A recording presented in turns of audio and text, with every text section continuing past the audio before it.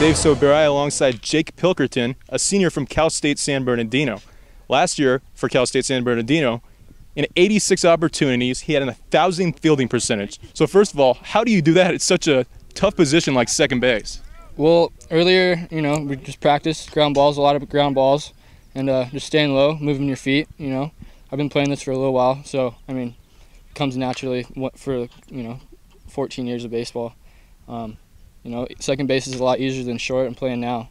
Um, just trying to make that transition from second to short, and uh, I think it'll be pretty successful. So, what's the biggest difference from transitioning from second base to shortstop? Um, just ar- the just the arm strength, the longer throw.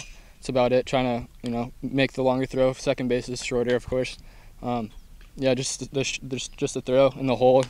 Um, you got to set your feet, move your feet a lot better. That's about it. What in particular are you looking to work on this summer? Um, just get a lot of at bats. That's about it. Um, you know, good get good at bats, um, deep in the hole. You know. And what excites you most about this season and this team? Um, a lot of new, not, a lot of new faces. You know, it's good playing with new people. Um, yeah, our team's our team's pretty good. We've uh, played the Power, which is a pretty great team. Should have beat them twice. You know, our, our team's really really good, and um, yeah, I'm excited for just opportunities that are, that are coming every day. All right, thanks for your time. No problem.